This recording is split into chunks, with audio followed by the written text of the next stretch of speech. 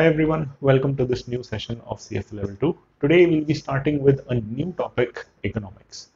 Economics as a topic is fairly basic at level 2 and in terms of the syllabus or technicality, it is a lot more easier than what economics was at level 1.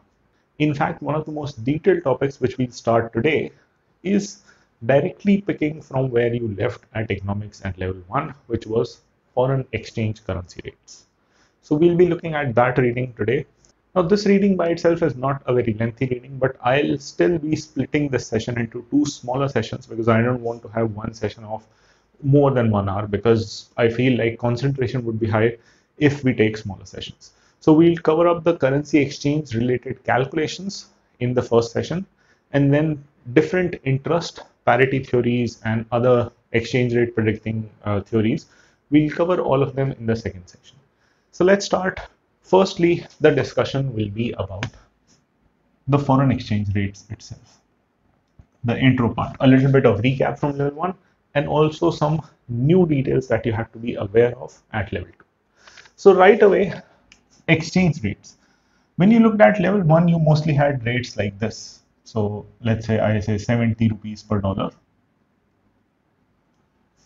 Over here, it meant that you will have to pay 70 rupees if you want to purchase one dollar. So which simply means one dollar can be exchanged for 70 rupees.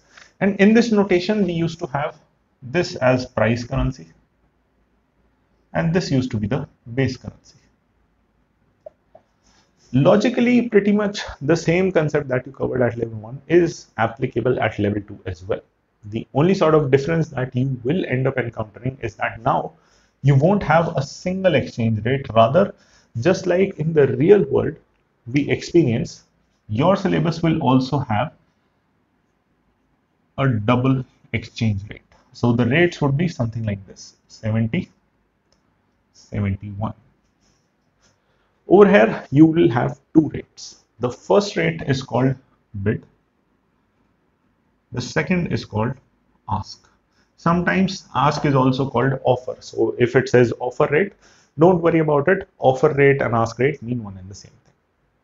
So instead of having just one set of exchange rates for each currency set, we will have two exchange rates. One would be bid, one would be ask. Now we did have a small discussion about this bid and ask and the spread and all of those details in the portfolio management. All of that is applicable here as well.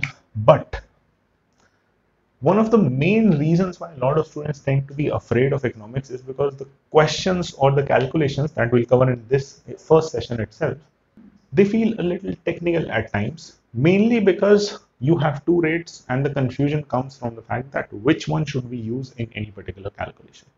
So right away, I am going to give you a golden rule.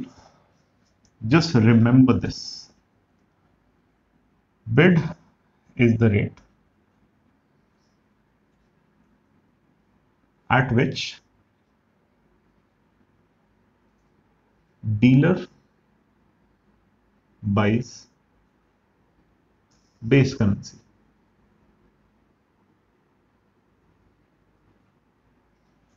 and ask is the rate at which dealer sells base currency. If you remember this rule, I can assure you not a single calculation that we'll cover in this chapter in this session going ahead will be complicated. Nothing in this chapter is complicated. Let me iterate that very clearly it just looks complicated because you are being introduced to this kind of calculation for the first time. In fact, a lot of securities have this fixed income bonds. They are a dealer oriented securities mostly. They might also have these situations wherever you have dealers, you have bid and ask quotes. But none of our calculations in fixed income or equity or in any security have focused on this. So this as a concept is slightly new and that is what the most challenging part is. Calculation logic is not challenging. Challenging is just understanding how to use two rates instead of one. Now let's have a look at this note one more time. Bid is the rate at which dealer will buy the base currency. In our exchange rate, dollar is the base currency. So this simply says that bid 70 is the exchange rate that the dealer will use when he has to buy dollars, which means you have dollars dealer is a counterparty, always assume you to be the investor and dealer to be a counterparty. I have dollars, I want to sell dollars to the dealer. If I am the party which is selling, dealer must be the party which is buying. And dealer will buy the base currency at bid rate. Similarly, dealer when he has to sell dollars, let's say I went to dealer saying that I want to purchase dollars. The investor wants to purchase, dealer will sell dollars. He will sell dollars at ask rate at a rate of 71. The difference between these two is called spread. And this is pretty much sort of the benefit or the profit that the dealer intends to earn. Larger the spread, the more profit for dealer. However, in the real world, there are a lot of elements that decide how big the spread would be. For example, the two currencies which are in the exchange quote. Over here, I have rupees and dollars, and there's a lot of transactions happening between uh, imports and exports, specifically for a country like India, where a lot of our imports and exports are valued in dollars. So there is a hefty bit of demand for both the currencies. But if I take a combination of two currencies which are not in as much demand, then there won't be as much investors or market participants and as such liquidity will be low and the dealer would then have to charge higher spreads to maintain his profits. So it depends on currency it depends on interest rates of different countries it depends on what the situation is in terms of trade. If the trade is happening very regularly between the two currencies i'm not saying between india and us over here this exchange rate while it might seem that it is indian rupees and us dollars in real world, any transaction that happens in dollars would end up affecting this particular rate. Even though that transaction might not be with a US based entity, if a transaction is being done by an Indian person in US dollars, that would affect this exchange rate.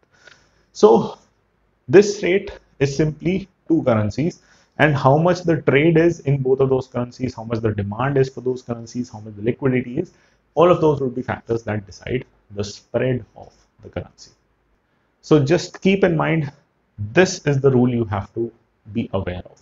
In any given question, whatever the situation it presents in front of you, convert each element of the question from the perspective of dealer, then decide which rate to use. So if a question simply says that you want to sell dollars, first convert this transaction from the perspective of dealers if I am selling, dealer must want to buy. Then come back to this rule and decide which exchange rate to use.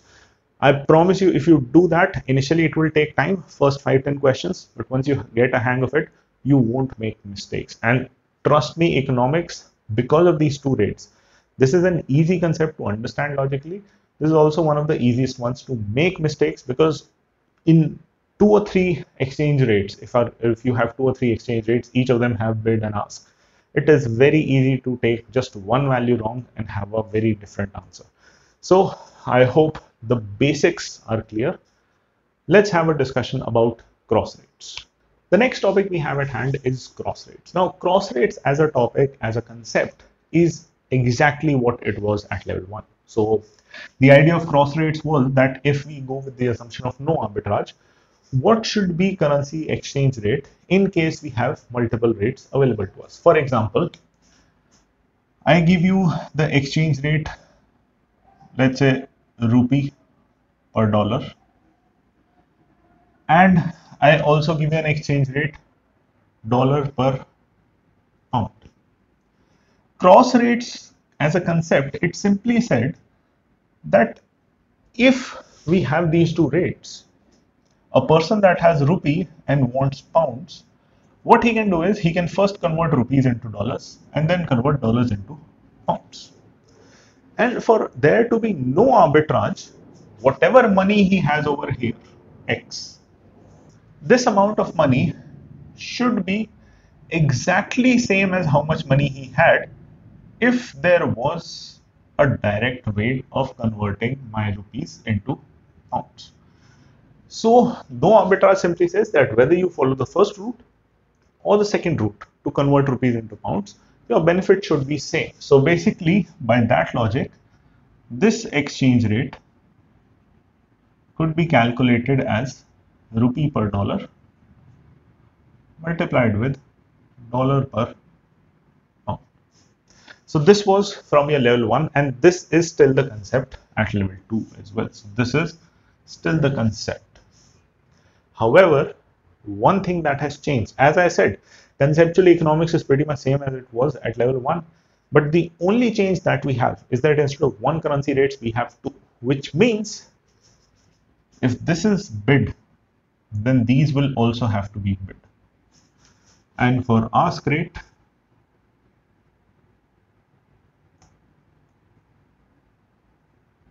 these will also have to be ask rates. This is the only change that now instead of using cross rates just to get one single rate, you now have to use them first using bid rates to get the bid rate and then ask rates using ask rates of the other two currency exchange. Aside from this, there is one small complication that you also have to be aware of, which is called indirect quote. Now, if you remember at level 1, if you were given rupees by dollar as 70, you can convert this into dollars by rupee as 1 by 70. This was basically conversion of a quote from direct to indirect. Now, I'm not going to get into complication how we decide what is direct, how, what is indirect, because it doesn't matter for the purpose of what we have to discuss. But we were able to convert the quote directly by uh, doing a reciprocal of it. But the issue is now we don't have one exchange rate, now we have two exchange rates. So let's say the quotation for rupee per dollar is given as 70, 71.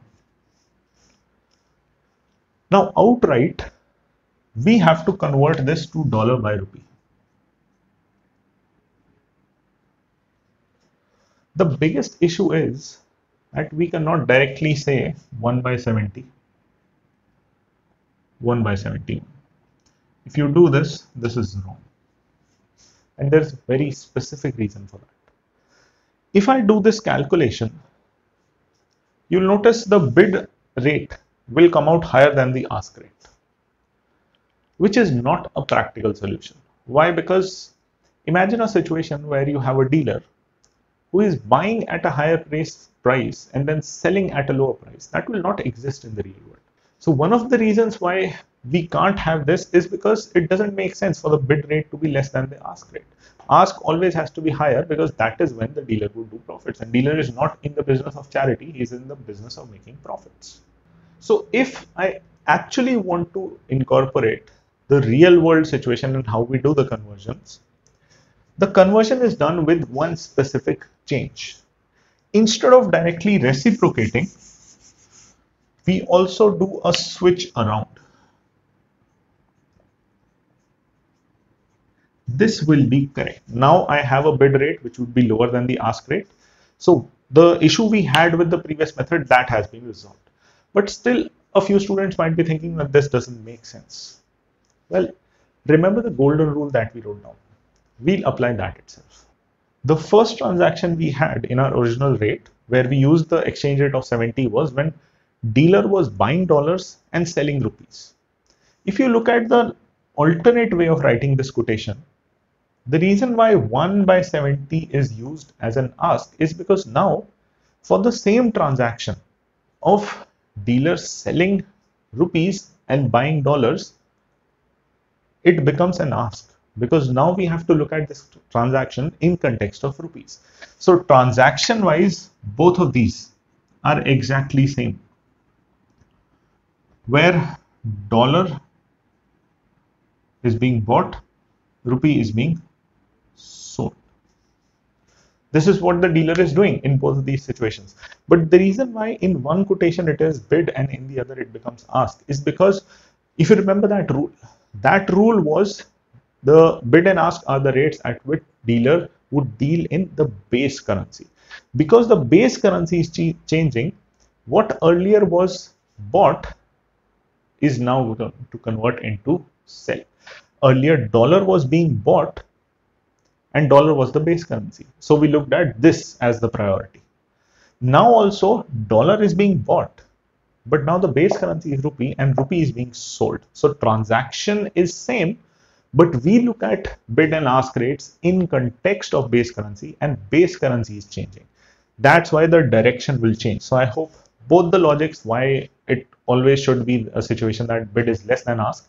I hope that logic is also clear and this sort of conceptual logic is also clear. For the exams, if you're comfortable with either logic, you can go with that. The easiest one to remember is that the bid should always be lower than ask because otherwise the dealer would not be in business. So I hope all of that is clear. Now we will combine all of these to understand with an example the concept of triangular arbitrage.